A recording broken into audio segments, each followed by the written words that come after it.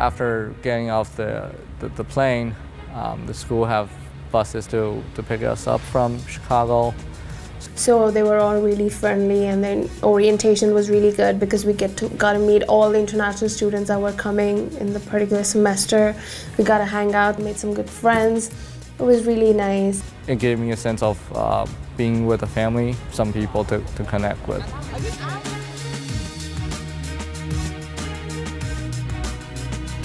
I came here because they had like a new uh, Masters in Computer Science program and professors are willing to like work with you personally. I'm taking an audio practicum class right now. That class requires me to help set up soundboard, monitors, and microphones. And we are kind of there as a friend, but also as someone who can guide them.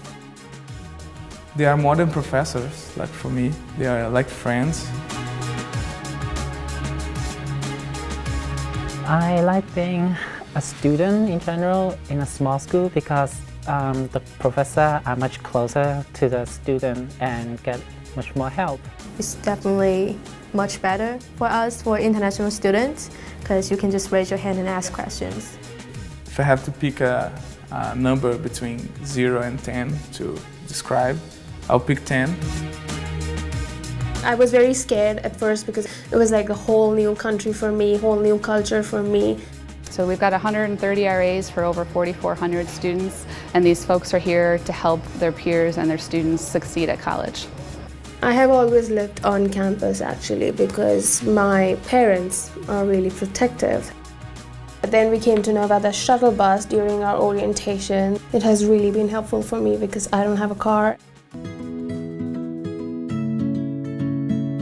After experiencing so much with the honors program, the research, um, peer mentor, student orgs, they're open to everyone. In the UC, there are so many like games going on and the uh, bowling stuff that's available from like 7 to 10 p.m.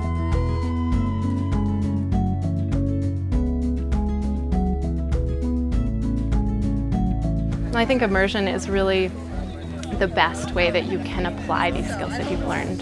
There's only so much you can do in the classroom environment, and you can do a lot, and there's a lot of learning that takes place, but this experiential learning and being here and the cultural awareness and the cultural exchange that they have is not something you can replicate.